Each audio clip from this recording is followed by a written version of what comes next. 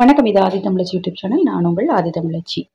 ஆதி தமிழச்சி YouTube சேனலில் நிறைய ஆன்மீக தகவல்கள் ஆன்மீக பரிகாரங்கள் ஆன்மீக ரகசியங்கள் தொடர்ந்து பதிவேற்றம் செய்துட்டு இருக்கேன் தொடர்ந்து பாருங்க. கார்த்திகை மாதம் வரக்கூடிய திங்கட்கிழமை சிவபெருமானுக்கு மிகுந்த உகந்த நாளாக கருதப்படுகிறது. அன்றே திருவோண விரதமும் சேர்ந்து வருது. சோமவார விரதமான கார்த்திகை விரதமும் சேர்ந்து வர்ற இந்த நாளில் இந்த மூன்று ராசிக்காரர்கள் சிவாலயம் சென்று சிவனை தரிசனம் செய்தால் நிச்சயம் அவர்கள் செய்யும் காரியங்களில் முன்னேற்றம் ஏற்பட்டு கண்டிப்பாக அதிர்ஷ்டம் ஏற்படும்.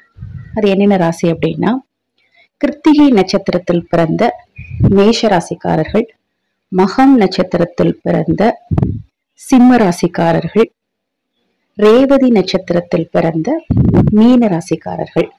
இவர்கள் மூவருமே வந்து சிவாலயம் சென்று வில்வம் சாற்றி சிவனை வழிபட்டா நிச்சயமா அதிர்ஷ்டம் ஏற்படும் அப்படிங்கிறதுல எவ்விதம் மாற்று கருத்தும் அல்ல மிக எளிமையான பரிகாரம் மூன்று ராசிக்காரர்களும் தவறாமல் செய்து சிவனர்கள் பெற்று நல்ல ஒரு அதிர்ஷ்ட வாய்ப்பை ஏற்படுத்திக்கோங்க.